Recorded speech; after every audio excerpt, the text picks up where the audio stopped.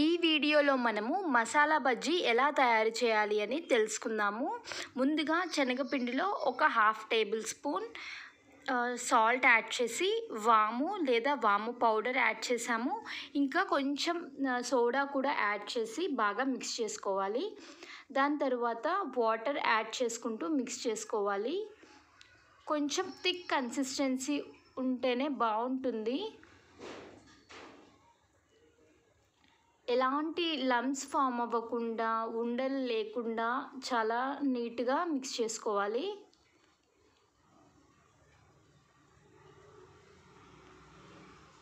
కొన్ని water add చేసుకుంటే సరిపోతుంది. కొన్ని వాటర్ యాడ్ చేసుకోవాలి.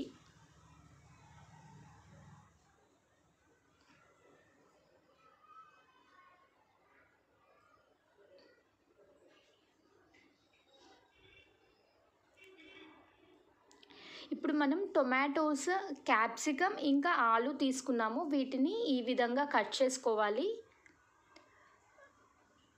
ఆలు కూడా చాలా సన్నగా అండ్ క్యాప్సికమ్ కూడా చాలా సన్నగా బారుగా కట్ చేసుకున్నాము. పెద్ద పొటాటోస్ తీసుకున్నాము. అందుకని చాలా చక్కగా వచ్చాయి. కొంచెం తిక్కుగా కలపడం వల్ల ఏమవుతుందంటే ఆలు కూడా ఆ పిండి అనేది చాలా నీట్గా పడుతుందన్నమాట. సో ఇప్పుడు మనం ఆయిల్ హీట్ అయిన తర్వాత ఈ విధంగా బజ్జీని ప్రిపేర్ చేసుకోవాలి.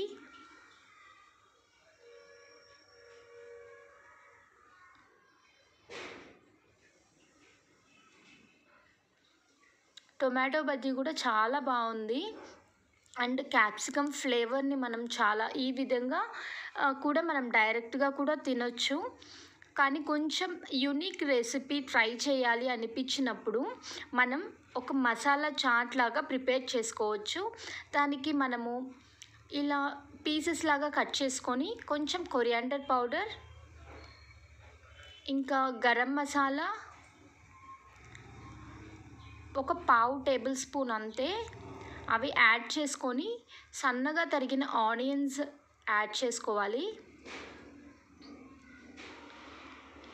ఇంకా కొరియాండర్ లీవ్స్.